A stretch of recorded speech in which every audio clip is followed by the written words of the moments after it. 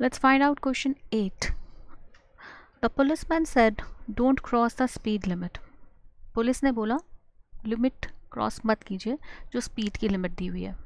तो इसका आंसर क्या बनता है? The policeman said not to cross the speed limit the policeman asked if I would cross the speed limit the policeman forbade me to cross the speed limit और the policeman ask if I had cross the speed limit इस question का सबसे पहले answer check कर लेते हैं then I L justify वो ऐसा क्यों हुआ है। Option number C is your answer बेटा। ठीक है? Now let's check the reason reason being is said आपका सेकेंड फॉर्म ऑफ़ वर्ब है राइट right? तो इसका चेंज हो जाता है। और हमने देखा, यहाँ एक एक इंस्ट्रक्शन दिया गया, जो पुलिसमैन ने दिया है don't cross the speed limit तो फोरबेड वर्ड उस सजेशन और उस इंस्ट्रक्शन के लिए वर्ड है।